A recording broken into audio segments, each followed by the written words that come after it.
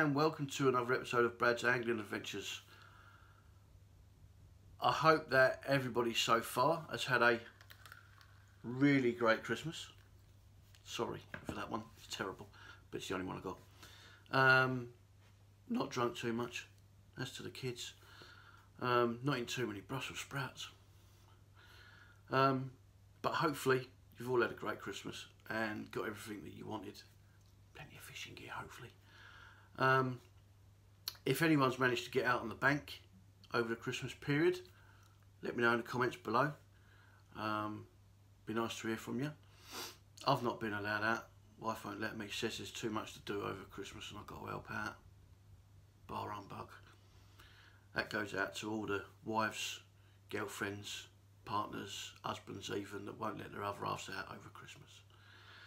But, with any luck, we'll all get out and do plenty of fishing in the new year.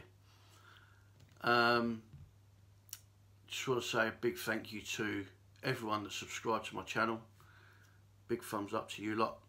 And everyone that's come over and watched um, the videos. Um, if you do come over and watch videos, don't forget to hit the subscribe button. Um, also, anyone out there, let me know in the comments um, of any sort of tutorials that, that you want to see. Um, obviously this is the last video before 2018 hits.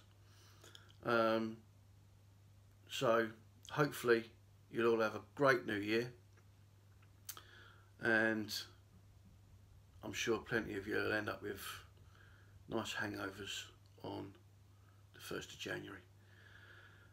But we will be back in the new year with plenty more fishing videos, um, tutorials and also reviews on any gear that we get in the new year and get out and do some reviews on some fisheries and some rivers and bits and pieces. Um, and with any luck, get out on the beach and some piers to do some fishing there and hopefully get some um, saltwater fish on, on camera for you.